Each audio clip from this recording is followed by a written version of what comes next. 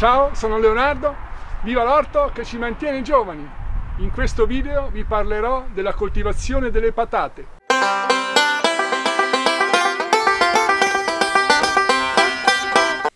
...27 febbraio... ...taglio le patate in più pezzi... ...per il piantamento a pieno campo. La patata ha una polarità. Da una parte c'è la corona, che è quella che vedete, che è la parte con le gemme, che si chiamano anche occhi e la parte opposta con nessuna gemma o quasi. Sempre da preferire nel taglio le gemme della corona. Ecco. Si taglia in senso longitudinale come vedete e bisogna far sì che ogni pezzo abbia almeno una gemma. Ecco qua ne taglio un'altra. Ecco qua. Faccio ancora altri due pezzi.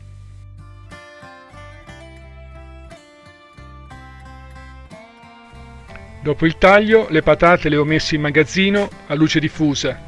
Siamo al 5 marzo, quindi una settimana dopo il taglio e questo tempo serve per facilitare la cicatrizzazione del taglio, che è importante come prevenzione alle malattie. Questo è un appezzamento arato nell'estate precedente e stirpato due volte nell'autunno con fresatura su terreno ghiacciato in gennaio. Essendo un appezzamento non coltivato da tanti anni in cui ho fatto crescere l'erba spontanea, questo l'ha reso ancora più fertile, per cui non ho usato nessuna concimazione. È importante aspettare almeno 3-4 anni prima di far ritornare la patata sullo stesso terreno e questo serve come prevenzione alle malattie, sia di origine funghina, insetti, nematodi. In certi terreni non fertili, poveri, può essere dato del concime organico, ad esempio dello stallatico, pellettato o simile. La dose può essere sui 2-3 quintali ogni 1000 metri quadrati.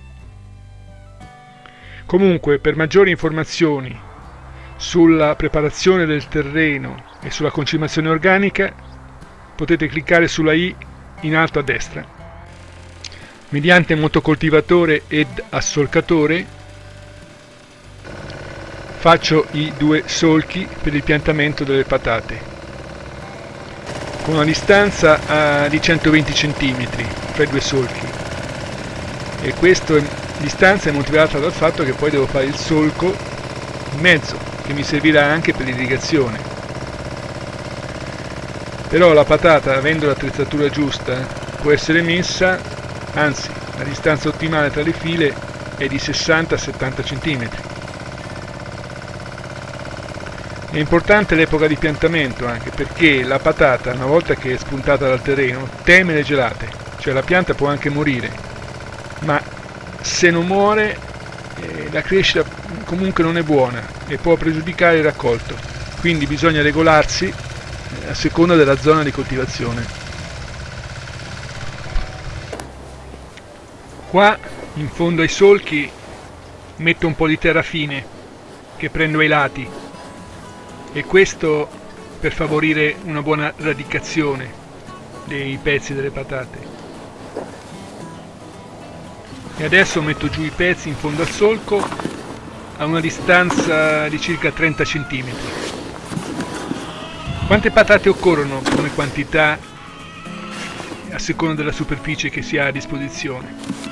Per rispondere a questa domanda ci sono molte variabili, perché la patata può essere messa intera o a pezzi, anche la distanza fra i solchi può variare. Diciamo in linea di massima 2-3 quintali ogni 1000 metri quadrati di superficie. Dopo che ho sistemato tutti i pezzi in fondo al solco, provvedo manualmente, mediante un badile, a interrarli. È sufficiente un 10-15 cm di terra sopra.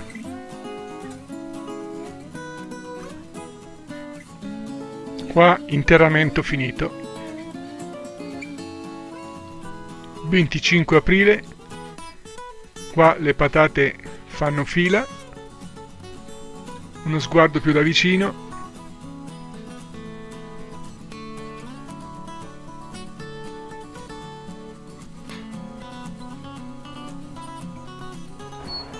11 maggio patate alte circa 10-15 cm qui ho provveduto a fare il solco in mezzo alle due file. 23 maggio le patate sono alte circa 30 cm e eseguo la rincalzatura cioè addossare la terra alla base della pianta delle piante con lo scopo di fornire più terra soffice ai tuberi che sono in accrescimento sotto. E mi arrangio con l'attrezzatura che ho a disposizione. Uso lo stesso solcatore che ho usato per fare i solchi. E la solcatore è un attrezzo che insomma rispetto all'incalzatore è un po' diverso. Ecco qua concludo il solco faccio quell'altro che poi questi solchi quello centrale quello a sinistra e a destra poi li userò, li userò per l'irrigazione. Quindi hanno due funzioni. Fatti tutti questi solchi poi finisco il lavoro mediante eh, la zappa mettendo la terra fin sotto la base della pianta ecco qua. Faccio vedere come faccio.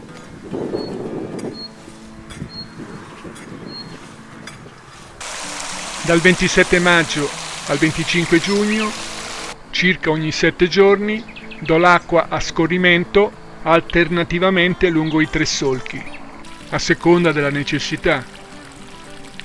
Ecco qua. Ancora l'acqua non è arrivata in fondo Ovviamente c'è una leggera pendenza.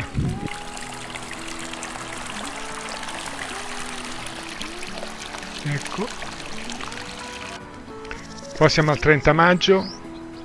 Si vede bene la differenza. A destra una varietà più precoce, la Mona Lisa, che è più bassa di taglia, una varietà a pasta gialla. E a sinistra, fino a metà del solco, una varietà a ciclo più tardivo, la Desiree una patata buccia rossa e poi do dopo la metà di nuovo la Mona Lisa. In questo periodo ho fatto un unico trattamento contro la peronospora, che è la malattia funghina più importante per la patata e le solanacee in genere, perché può portare anche al disseccamento della pianta con la perdita del raccolto. Lo sviluppo della peronospora è favorito dalle alte temperature, e da umidità anche alta e anche da sbalzi termici. Qua si vede come la varietà più precoce, alcune punte delle foglie incominciano a seccarsi, che è indice appunto di questa malattia.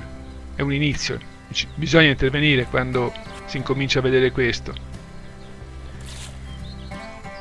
Ho usato un trattamento rameico, sono intervenuto con un trattamento rameico con l'ossicloruro di rame circa 15 grammi ogni 10 litri d'acqua ne ho usato. Poi però dipende dipende dal nome commerciale del prodotto però più o meno. Ecco qui sto trattando tutte le solanacee partendo dai pomodori. 11 giugno provo a raccogliere qualche patata per vedere a che punto è di crescita e per vedere anche a che stadio è la buccia esterna. Ecco qua. Non mi posso lamentare come pezzatura. Come si vede la terra è umida in profondità. Queste sono le patate che ho raccolto ne prendo una ecco per far vedere la buccia. Ecco la buccia ancora non è suberificata infatti si toglie e a questo stadio le patate vengono chiamate novelle. 9 luglio a circa 120 giorni dalla semina in questo giorno raccolgo tutte le patate anche se La Mona Lisa, che ha un ciclo più precoce, si poteva anche raccogliere 10-15 giorni prima. E la Desiree, che ha un ciclo un po' più tardivo, si poteva anche raccogliere fra 15-20 giorni. Ma per comodità le raccolgo tutte in questo giorno. Anche per la raccolta delle patate mi sono arrangiato con questo attrezzo, che non è proprio l'ottimale. Come si vede.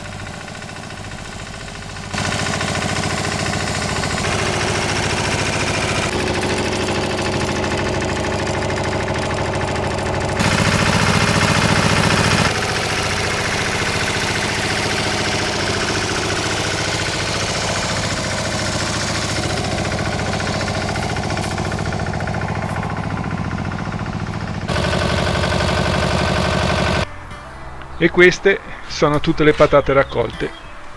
Poi le ho pesate ed erano due quintali. Quindi considerando 80 metri quadrati di superficie di coltivazione rapportandolo ad, a 1000 metri quadrati è come eh, raccogliere 25 quintali ogni 1000 metri quadrati. Ovviamente io ho dato l'acqua senza irrigazione in coltura asciutta la quantità raccolta può essere molto molto di meno. Bene, questo video è finito, io vi saluto, vi invito come sempre ad iscrivervi al mio canale, a mettere mi piace, a fare domande e commenti e per finire dirò come sempre viva l'orto che ci mantiene giovani!